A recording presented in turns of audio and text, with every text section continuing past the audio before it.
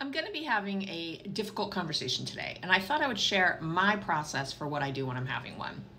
First things first is I always make sure I've meditated that day, yes, because I meditate every day. But more importantly, right before we're going to meet, right before I'm going to have the conversation, I make sure that I settle myself. I don't rush from one thing to the other.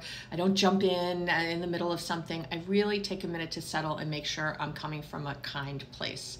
And then the next thing I do is set intention with the person. I let them know it's my intention that we get along, that we uh, really come to a mutual understanding, that we listen well. You know, I set an intention for that. And then I go in and make sure that as I'm talking, I am checking in with myself about how I'm feeling. I'm monitoring my breathing and I'm, and I'm asking them how they're feeling. And that's how I get through a difficult conversation. It really helps. Follow me for more tips just like this.